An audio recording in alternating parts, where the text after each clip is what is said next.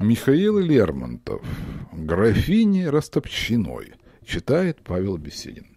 Я верю, под одной звездою мы с вами были рождены, мы шли дорогою одною, нас обманули те же сны.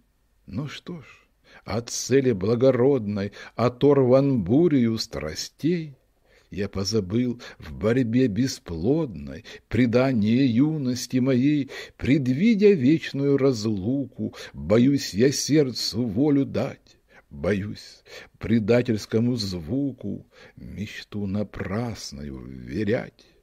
Так две волны Несут содружно, случайной, вольною читой, В пустыне море голубой Их гонит вместе ветер южный, Но их разрознет где-нибудь Утеса каменная грудь. И полны холодом привычным, Они несут брегам различным, Без сожаления и любви, Свой ропот сладостный и томный, Свой бурный шум, свой блеск заемный И ласки вечные свои.